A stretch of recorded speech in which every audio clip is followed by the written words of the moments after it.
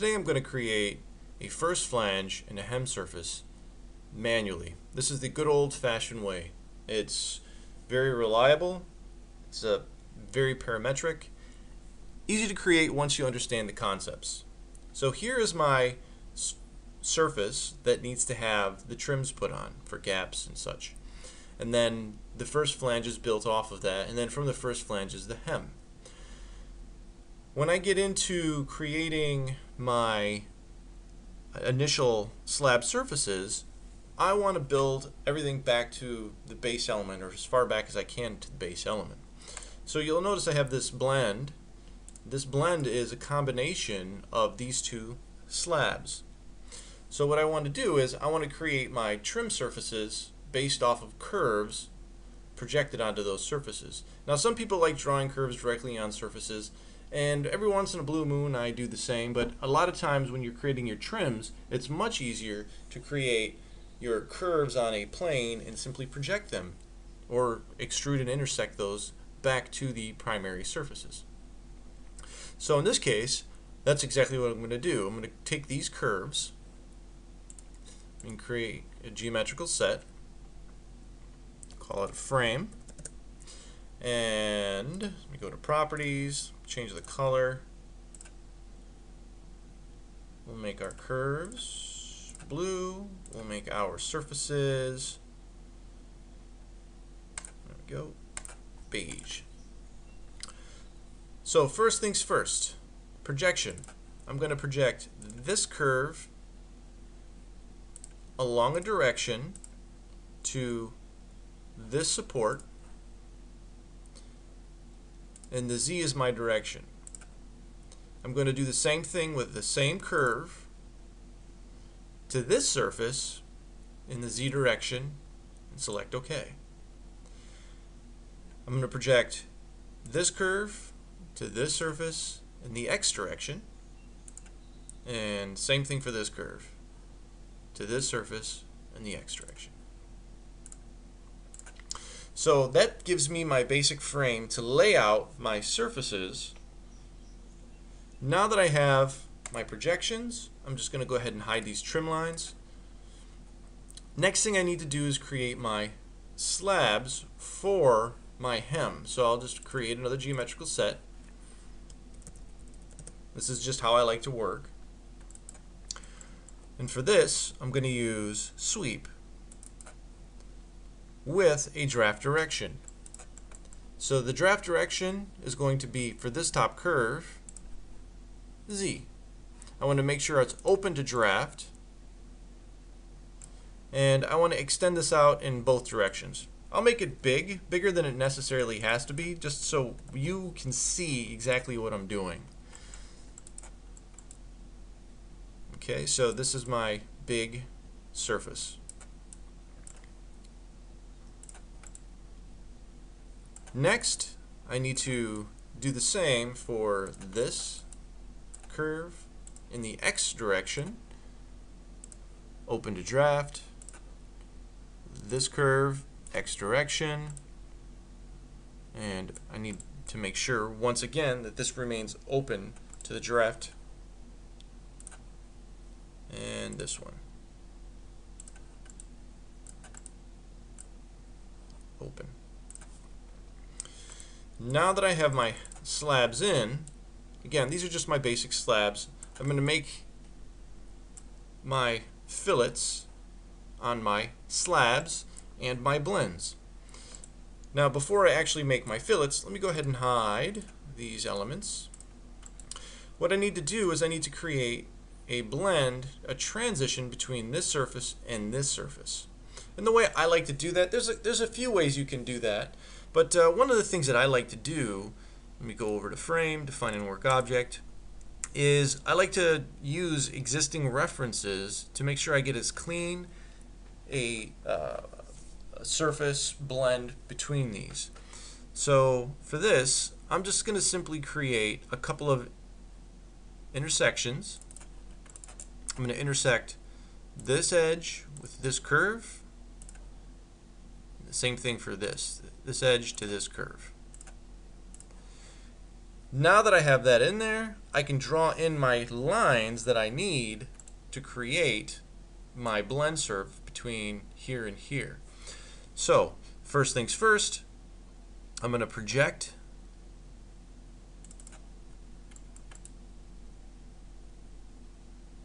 this point to this edge using a normal direction.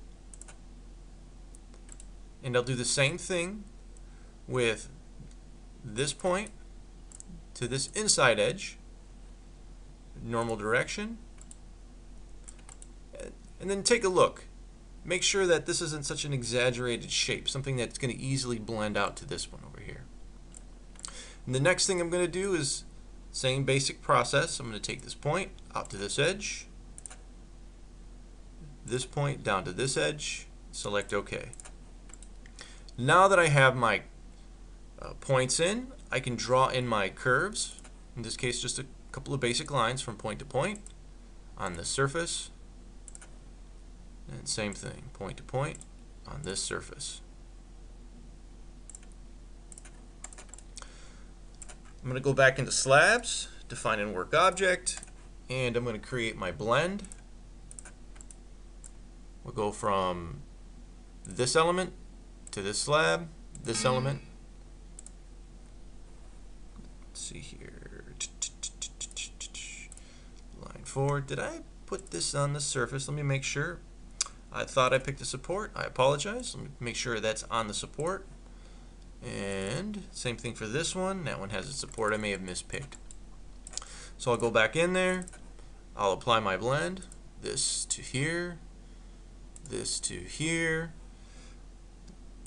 And this is one of those rare instances that I trim everything up. Uh, change this to curvature. Curvature, select OK. And that gives me a nice transition through that bend. Now that I have that in there, I'm going to go ahead and go ahead and hide all of these elements. Don't need to see them now. So you can see I have a nice transition through the blend. Here I'm going to go ahead and create a couple of more fillets. I want to fillet this to this and 0.6 preview. And this is looking pretty good. Again, you're going to get this information from a stylist. I'm going to do the same thing with this to this. Wrong direction, wrong direction. There we go. And there is my, basically that's my slab for my first flange. And because this is CATIA, and we like to label things. I'm going to go ahead and label it. You may put this into a separate geometrical set. In this case, I'm just going to leave it in here and change the color so we know exactly what it is. Now that I have my slab for my first flange, I need to think about how I'm going to create the hem. Now the hem is going to be a basically based off of this first flange and it's going to come in and it's going to wrap around so that hem thickness needs to be the thickness of the material times 2 because it's top and bottom and then the material of the thickness that's going inside of that hem. So for that I'm going to, we'll just imagine the material is 40 thousandths or 1 millimeter. So if it's 1 millimeter thick I need to make sure that I have a 3 millimeter offset. Sometimes I use a little bit thinner material, like 0.711. It's just that times 3. Or maybe the inner piece of metal is going to be a little thicker or a little thinner. So you have to make sure you have all that information. You'll have a section defining how thick the metal is going to be in those areas. Next thing I need to do is I need to create an inside trim edge for that hem. The hem's only going to be so long. So this allows me to take my surface and offset it out to whatever trim edge length I need. Let's see. Here we go. Now that I have my trim edge in, I'm going to go and insert geometrical set. I like to break things out. And oops, let me change the color of this for surfaces. Make it bluish. There we go. So the first thing I'm going to do is I'm going to split this surface to that edge. Next thing I'm going to do is I'm going to use the trim function. I want to trim this to this. Yes, I know you can pick multiple elements, but I'm a fan of going, in this case, to make things easy for this, trimming it all up. So here we have my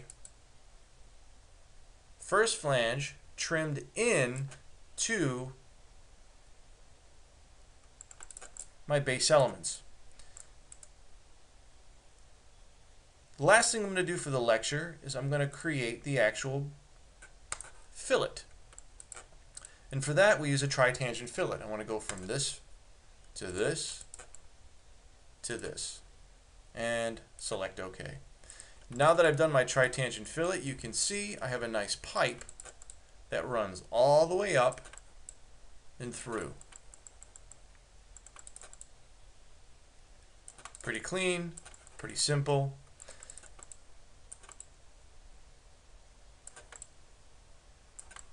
And this is fairly representative of what the final product is going to look like on your car. Now, there are times, excuse me, there are times where you may need a flat spot. If you do need a flat spot, you would just simply put in two separate fillets and of a, of a smaller radius size than the three a three millimeter offset, like two, two and a half, whatever that may be, and create that little flat spot in the middle.